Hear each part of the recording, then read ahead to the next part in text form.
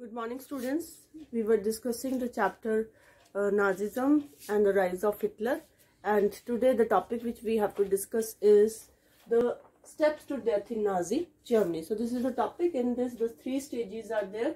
Uh, first stage is exclusion 1933 to 39 this was the period and in this uh, the idea was you have no right to live among us as citizens so the jewish people they were denied the citizenship rights and then the stage 2 ghettoization in uh, the period here is 1940 to 44 and here the idea is you have no right to live among us. So the separate uh, areas are demarcated where the Jewish people will be living. So that phase was called or that stage was called ghettoization. Then the stage 3 annihilation that is the period 1941 onwards. And in this you have the idea was you have no right to live so this was the only idea you have no right to live. So uh, students if we see the stage one exclusion that is you have no right to live among us as citizens. Here jews were not allowed to live along with the german uh, citizens and then uh, certain citizenship laws were given in september 1935 according to which only german citizens would enjoy the protection of the german uh, German Empire and marriages between uh, Jewish people and German. They were banned. Extramarital affairs between the Jewish people and the German. They were also uh, prohibited and Jews were not allowed to fly the German national flag. And then um, various measures were also taken against the uh, Jewish people like the boycott of the Jewish business. Their businesses were boycotted. That is the economic boycott, uh, social boycott, expul uh, expulsion from the government services, then uh, forced selling and confiscation of their properties before they enter ghettos. Then uh, the properties, their properties were damaged. Uh, it was uh, looted. Their houses were attacked and their religious places were also burned so this uh, these all uh, things uh, occurred during the uh, first stage and now the second stage that is ghettoization so in this uh, students uh, ghettoization ghettos means the specially demarcated areas where all these uh, minority communities will be living. And very bad conditions uh, used to be there in these ghettos. So now under this stage i have told you the idea was uh, you have no right to live among us so uh, ghettos were specially demarcated areas I have told you where uh, the Jewish were living and from 1941 onwards all Jews has to wear a yellow star on their chest and their uh, identity this identity mark was also stamped on their passport all the legal documents that is this yellow star and they have to surrender all their properties before they enter a ghetto and in ghettos also uh, students uh, very bad conditions were there. And in your book students you can see uh, the picture is given in your NCERT book and there also uh, the people don't have anything to sell to survive. So overcrowded areas unhygienic conditions sanitation problems were there in these ghettos and uh, ghettos uh, became the site of extreme poverty and misery. And the final stage annihilation means the complete destruction by 1841 onwards so now here now the nazis will kill all those undesirable people that is jewish polish russians blacks gypsies. And uh, you can see the pictures are there in your NCERT book where piles of cloth are there. You can see the shoes which are taken from these prisoners before uh, killing them. Then the pictures are also there of the concentration camps. So finally in this stage uh, the all these people all these communities the ethnic communities were taken to the gas chambers and uh, you can see the concentration camp pictures are given where the prisoners are escaping but they won't be because uh, these concentration camps were surrounded by the barbed wires. And then uh, we have seen the beautiful picture is also given of the concentration camp. Uh, that is the view from outside uh, can look so good uh, so beautiful but inside reality everyone was knowing what was happening inside. So these were the stages of the the steps to death in Nazi. So different different stages we have seen. Now the next topic is students' youth in Nazi Germany. So in this uh, students, uh, Hitler, he was madly interested in the youth of his country because he was aware that to inculcate the Nazi ideology among the children, he has to control them uh, in and outside the school. So uh, total control over the school he has taken and he wanted that from very beginning the Nazi ideology should be taught to the students. Then the purification of the schools is started. That is the elimination of all the undesirable uh, elements. That is un politically unreliable people, the Jewish people, the Jewish teachers. Uh, they were expelled from their uh, jobs. That is, they were dismissed from their jobs. All the Jewish teachers, they lost their jobs under this purification program which started and the Jewish uh, children and the German children they cannot uh, sit together play together and the Jewish uh, students also were uh, thrown out of the schools under the purifications. So uh, this was the mindset this was the sick mindset of this person that he has thrown the innocent Jewish students also out of the school.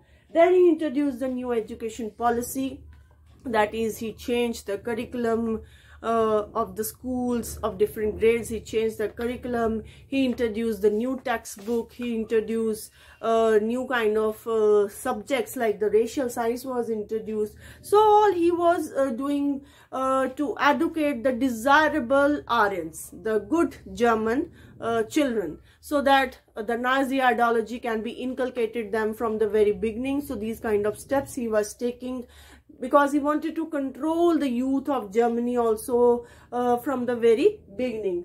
Then the division of life uh, means the different different uh, organizations, uh, groups were set up that uh, when the child attains the age of 10 to 14 years, then Zunke uh, was the one group, the organization where the child will be going and there the different training programs and the teaching programs will be carried out and different kind of sports will be taught to the uh, children like uh, he was very interested in rest, uh, boxing and all because it make uh, the children the boys especially the brave steel hearted aggressive. And then after that uh, the hitler youth was the organization from which the child will be going once the child attains the age of 14 years till 18 years. And then after that once the child attains the age of 18 years then army that child has to serve. So then hitler youth so this was the organization where uh, the children were taught to be aggressive uh, to be obedient to hate jewish people communist people and to worship hitler. So uh, this was taught here means the Nazi ideas were inculcated in them and they were taught that, that you have to hate Jewish people, you have to hate democracy, you have to hate communist people and you have only listened to Hitler and you have to worship Hitler. So students, uh, today now we have to discuss the Hitler, Hitler policy towards the woman. Uh, what kind of uh, Nazi cult was there regarding the womanhood. So this we have to see. Now uh, in this uh, he was uh, again very interested in the in the woman of his uh, country because he used to say that women are the most important citizens of Germany because they have to uh, rear the pure-blooded Aryan children. So they are the most important citizens of the Germany according to Hitler. So here the superiority of the men. So the children were uh, told from the beginning only that uh, the men were more superior and they were against the uh, democratic rights for the women. So Nazis were against any any of the democratic rights for the women and uh, the men required to be more aggressive, more brave and steel-hearted whereas uh, the woman has to just uh, uh, has to bear the Aryan race. They have to inculcate the Nazi values and they have to rear the Aryan children, the pure-blooded Aryan children. This was the uh, role of the girls in Nazi Germany. So the next point is the role of the girls and the role of the girls. It is the duty of the uh, girl uh, to rear the pure-blooded Aryan children. So this was uh, her duty and she has to inculcate the value uh, of Nazi ideology, Nazi values uh, from the beginning in the child. So this was the duty at home. She has to take care of the home. And the men need to be more aggressive brave and steel-hearted. And it is the duty of the woman to stay at home and inculcate the nazi values among the uh, pure-blooded aryan children. Then after that uh, the awards and punishments were also there. That is the woman who will produce the pure-blooded Aryan children will be uh, awarded and those who will uh, produce undesirable uh, children, those women will be punished. So concessions were given to the women who produce the pure Aryan-blooded children like in markets, concessions were given in hospitals also the uh, favor treatments were given to such kind of women the relaxation concessions in the cinema tickets in the markets. So uh, these kind of uh, favorite treatment were given to the uh, women who will produce the racially desirable pure-blooded Aryan children. Then uh, a principle of majoritarianism that is uh, the majority community can rule in whichever wishes by disregarding the minority community. So same thing were happening in Nazi Germany also. The women who will produce the uh, desirable children will be honored with the honor crosses. Medals were given like bronze medal for uh, producing four uh, pure-blooded Aryan children and then uh, six of, if six children uh, is giving birth then the silver uh, cross will be given and for eight children or more the gold cross will be given. So this kind of uh, uh, honors were given to the women who were producing rearing the racially desirable children.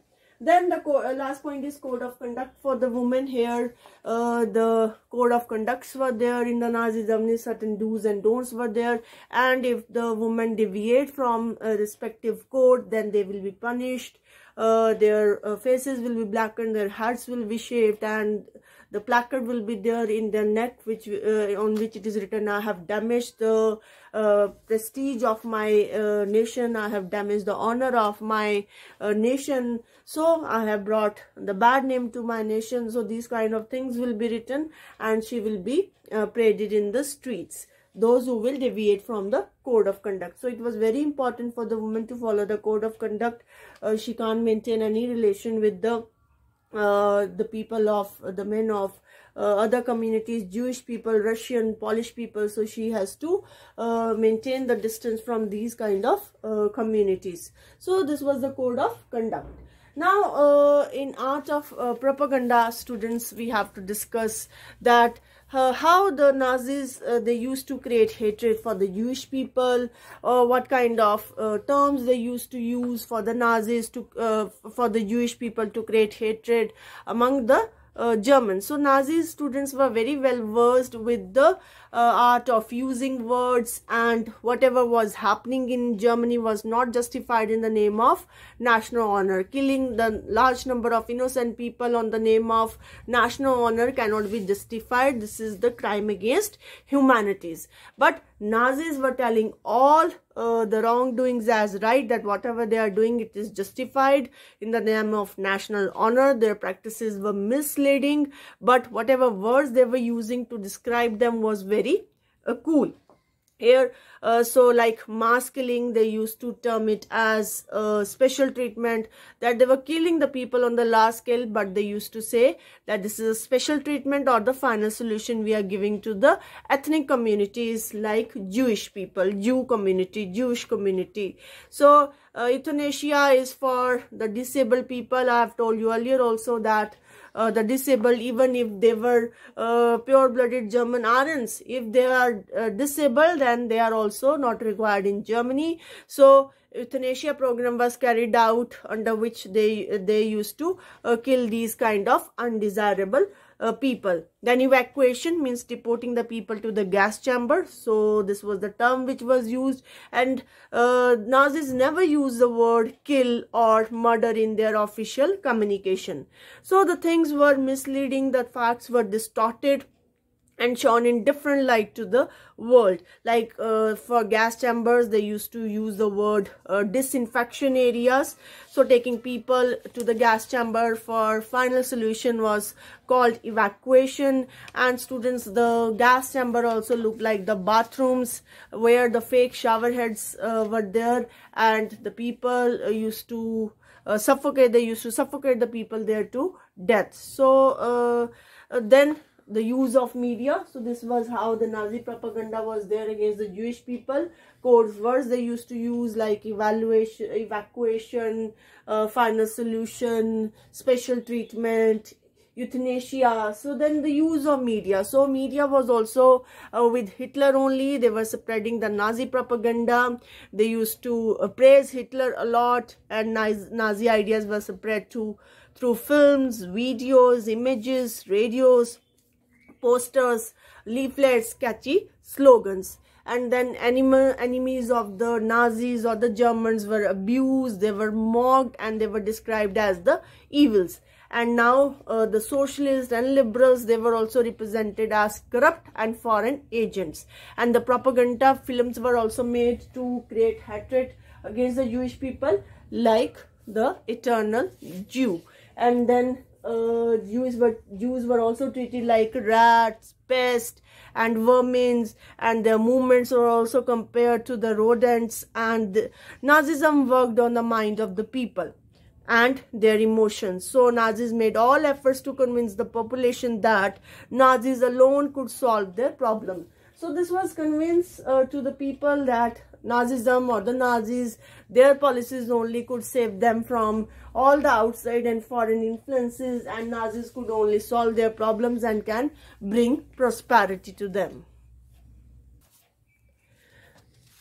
So now students we have to see uh, what the Jewish people they felt in the Nazi Germany. So uh, the Charlotte uh, Beradt, uh, the author, uh, she has written, she has seen uh, whatever was happening in Germany and she secretly recorded the people's dream in her uh, diary entries and later she published them in her book called The Third Reich of Dreams. So in her book, she wrote about the problems, uh, what kind of cruelties, injustice the Jewish people they faced and Jewish people also themselves started believing in their images which were fixed by the Nazis. And all these images which were published in the Nazi press haunted the Jews and their hooked nose, their black hair, their eyes, uh, the Jews looks and the body movements, all they they started believing that whatever Nazis they were publishing, it is right only. And Jews, uh, Jews people, the Jewish people, they died many deaths before they reached to the gas chamber. Now, knowledge about the Holocaust student Holocaust means the systematic state-sponsored killings. This we have seen of the uh, Jewish people and other communities by the Nazi Germany under the shadow of the Second World War. So here, uh, Holocaust means the mass killing only of the innocent people. This we have seen how they were killing the Jewish communities and other people. So uh, the world got the record of all this genocide of the Jews people after the Second World War. So what was happening during Second World War, the world was not aware. So after the Second World War only, uh, the people, they came to know what was happening under the Nazi Germany. So most of the information about the Nazi practices, they came after, out, out of the Germany after the Second World War only. And Jews wanted the world to remember whatever cruelties the Nazi Germany has done on them and during the Nazi killing operation. And the Jews used to say to each other uh, in the ghettos, the inhabitants, they used to see that just half an hour is required to tell to the world about what happened under the Nazi Germany. That we should live outlive the war just for half an hour so that we can tell to the world what was happening. Under the shadow of the second world war what the hitler and the nazis were doing with the innocent people. And the jews wanted to tell to the world that they suffered uh, so much cruelties injustice exploitation humiliation. And they uh, for this uh, they wrote diaries uh, they kept the notebooks they created the archives and uh, you can see the pictures also in your book of the milk can in which the use uh, used to keep the secrets of the nazis so that so uh, in your uh, book also you can see the picture of the milk can in which uh, the jewish people used to keep all the secrets against the nazi people and when germany almost lost in the second world war the nazi leadership distributed the petrol also so that all the evidences can be destroyed regarding the nazis Yet the memories of the Holocaust live in the form of poetry, fiction is there and museums in many parts of the world. And these are the tribute to those who uh, resisted it, those who opposed it. And embarrassing that is a shameful reminder to those who collaborated that is those who participated in this mass killing operations and a warning to those who watched in silence